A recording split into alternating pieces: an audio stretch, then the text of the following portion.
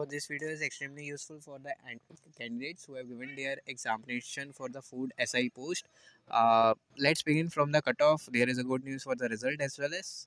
Uh, so let's begin for if you are belonging from the unreserved category and if you are scoring between 120 to 140 right you are in the safe zone whereas for the obc category 100 to 135 sc 90 to 120 st 90 to 110 and oa 90 to 120 some updates for the result what are the updates? Currently there is a good news that almost half almost the evaluations are being completed and it is expected that for the food si post uh, result will be released in upcoming 7 to 10 days maybe by the next week or in upcoming 2 weeks the results are going to release.